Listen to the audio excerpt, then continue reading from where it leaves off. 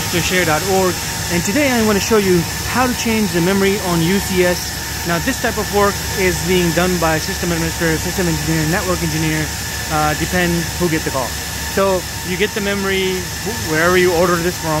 Uh, of course it's not just one memory, I'm just showing you an example. There's a lot of memories in this. Now why do you need this for our new members who are learning IT stuff?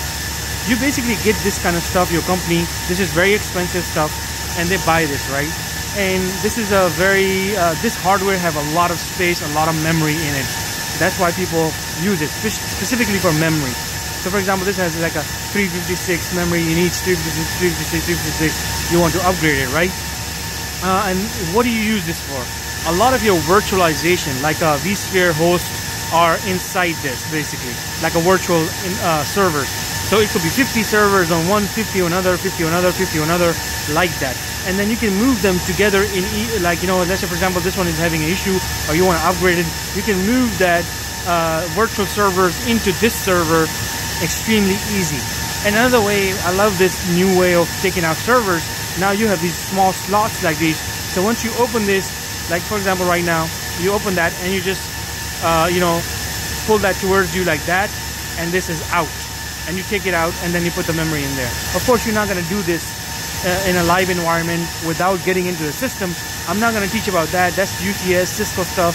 Of course, that's something you're going to learn how to shut down the server, decomposition, uh, decomposition server, all that kind of stuff.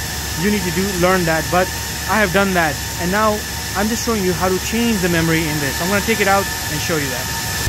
Once it is out, put it in a secure location and a lot of people will use something it's for secure like you know some gloves for security i'm not using that sorry about that you just hit this button right here this little pull thing push it and then move the server this way and this will get unlocked and you take it out.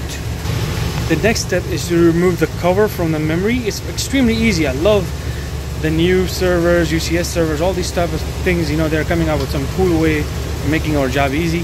So these are all the the memory ram right here and you can see uh, I have done all of it but I want to give you guys one example and before you do that you will open these little hooks right here. You see? You're just gonna open that. Now make sure you're pointing it correctly. A lot of people will be very careful you know holding this and everything. Uh, make sure you just kind of like you know search about how to safely put it. But here here you go. You just put it there. You hit the first like you know just push the, the left side first or the right side, it's up to you. But make sure it clicks. You're gonna hear that click, there you go. It should click. And all of it should be like that. Then simply you will put everything back. And let's say I'm gonna put that cover back in there. It should go in smoothly into that little um, this little like hook that coming out right there. Of course I'm doing it with one hand having trouble, but here you go. Very simple. They it should fit in like that and this should also fit in very smoothly so there you go that's it and I'm gonna put the cover back now when you put the cover back you gotta you gotta look for this little hook right there. I'm gonna show you. See that? It has to be a little bit back.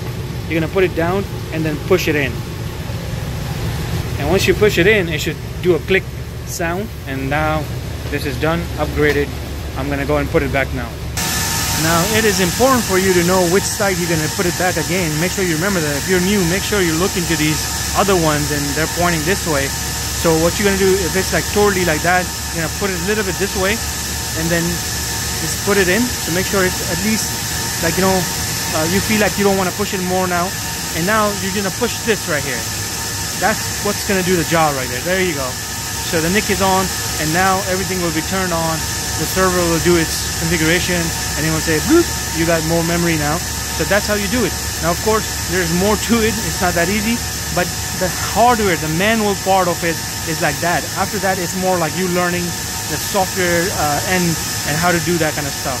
Again, you use this type of stuff, very expensive stuff, to put virtualization solutions on these things. That's why people pay a lot of money for this. Thank you so much. And if you like these kind of videos, let me know in the comment section.